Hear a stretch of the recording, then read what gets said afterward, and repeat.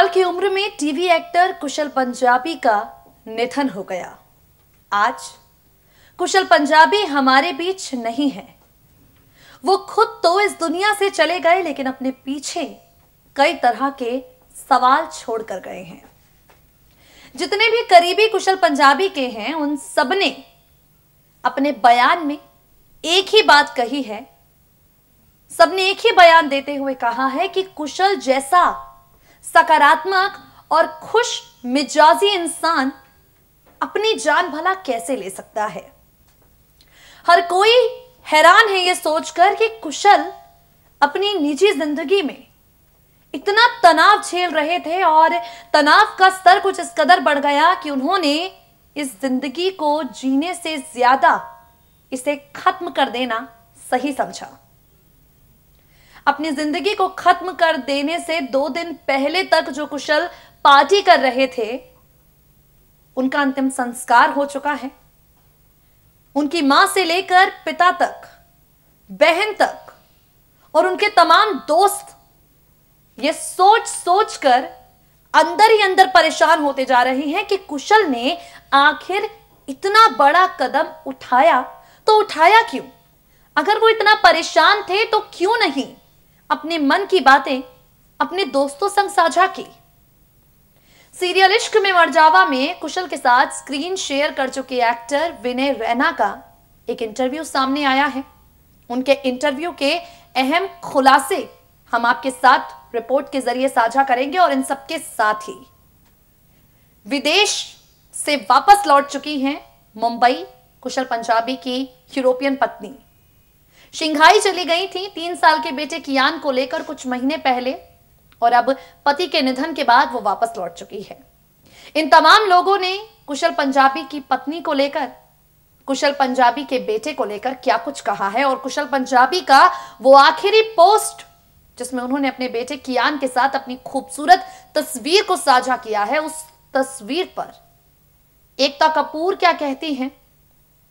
करणवीर बोहरा क्या कहते हैं? ये तमाम जानकारियाँ आपको देंगे अपनी रिपोर्ट के ज़रिए।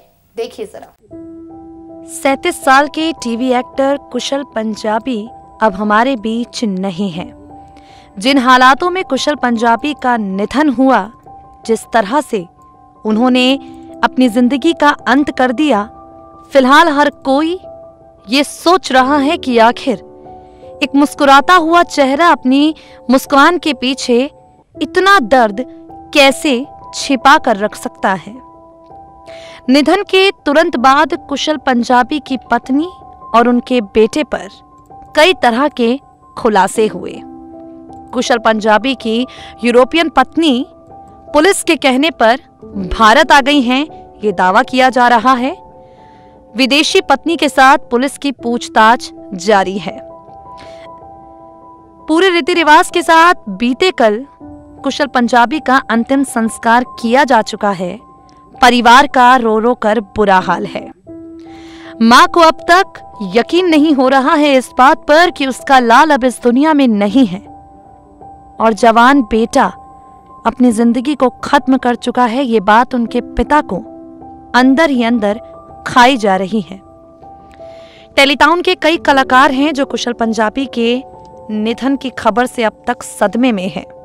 और इन्हीं सबके बीच में, इश्क में मरजावा सीरियल में कुशल के साथ काम कर चुके एक्टर विनीत रैना का बड़ा स्टेटमेंट सामने आ गया है।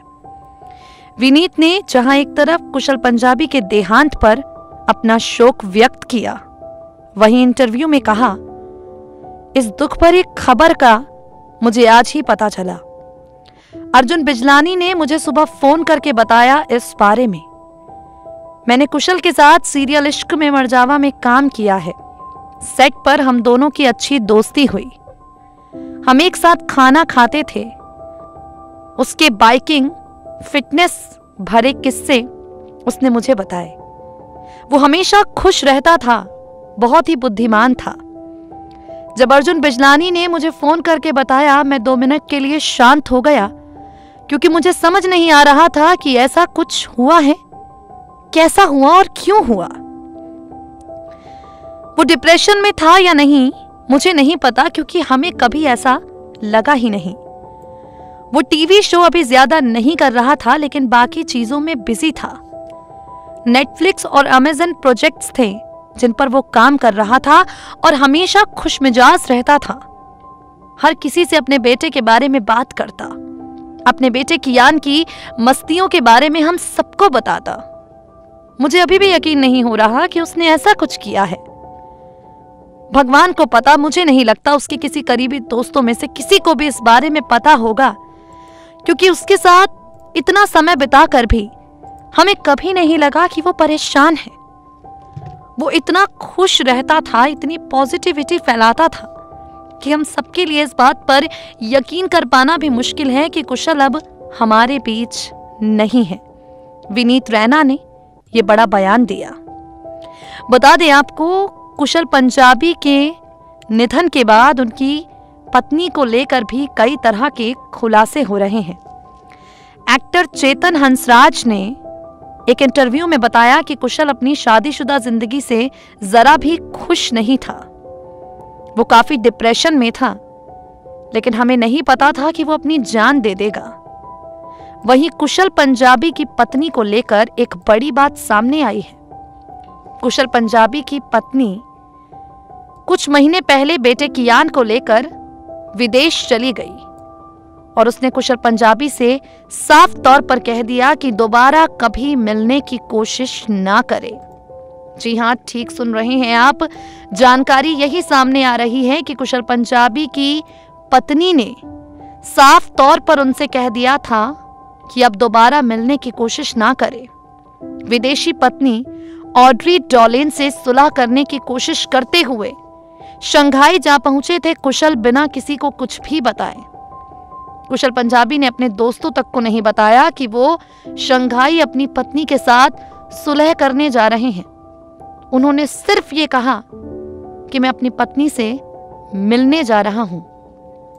और ऐसे में उनकी पत्नी से झगड़े की बात ज़्यादा विस्तार से किसी दोस्त को भी नहीं पता।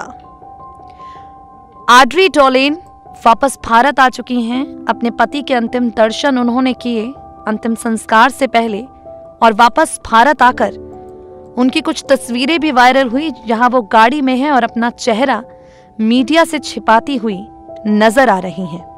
हालाँकि फ्यूनरल की जितनी वीडियोस सामने आई हैं उसमें उनकी पत्नी की झलक दिखाई नहीं पड़ी। कुशल पंजाबी ने आखिरी इंस्टाग्राम जो पोस्ट किया, उस इंस्टाग्राम पोस्ट पर तमाम सितारे अब अपनी प्रतिक्रियाएँ दे रहे हैं। आखिरी पोस्ट के तौर पर उन्होंने अपने बेटे संग अपनी तस्वीरें साझा की थी। आखिरी पोस्ट के तौर पर उन्होंने अपने बेटे संग अपनी कई फ़ोटोज़ शेयर की जिन पर टेलीविज़न क्वीन एकता कपूर का रिएक्शन सामने आ गया है। जी हाँ एकता कपूर भी कुशल पंजाबी के काफ़ी ज़्यादा करीब थी और एकता ने उनके निधन पर अपने मन की बात कही है।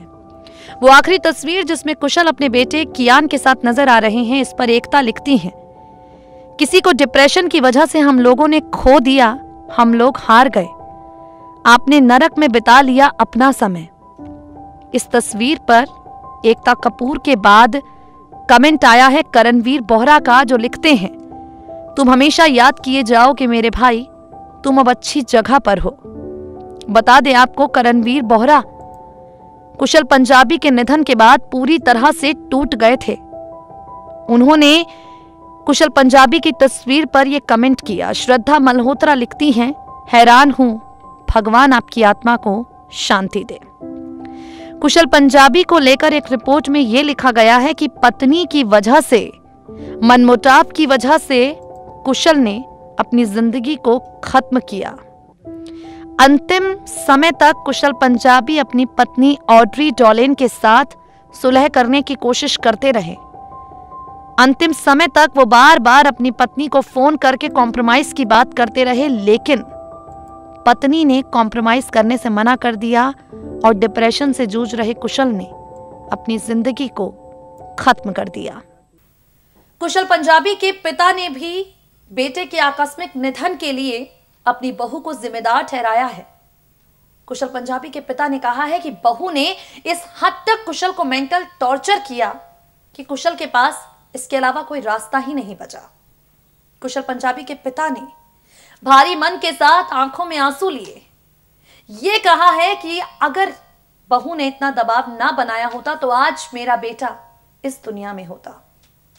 कुशल पंजाबी इस दुनिया से जा चुके हैं, लेकिन अपने पीछे कई तरह के सवाल छोड़कर गए हैं जिनके जवाब आगे आने वाले वक्त पर ही मिल पाएँगे।